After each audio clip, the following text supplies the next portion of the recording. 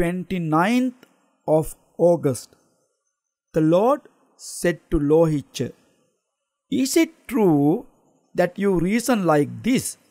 If a recluse or Brahmin discovers some good Dhamma, he should not teach it to others. For what can one man do for another? It is just as if having cut through an old bond, one were to make a new bond. Such a thing is an evil deed rooted in attachment. For what can one man do for another? Yes, Reverend Gautama, thus is my reasoning. What do you think about this Lohicca? You reside here in Salavatika.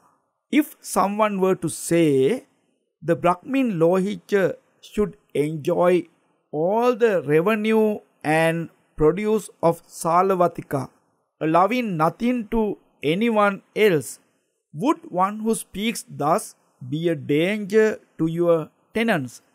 He would, Reverend Gautama, and as such, would he be considering their welfare or not?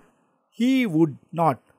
And not considering their welfare, would he have a heart full of love for them or one full of hatred? Of hatred, Reverend Gautama. And in a heart full of hatred is there wrong view or perfect view. Wrong view. Now, if one holds wrong views, I say that one of two destinies results rebirth in hell or as an animal.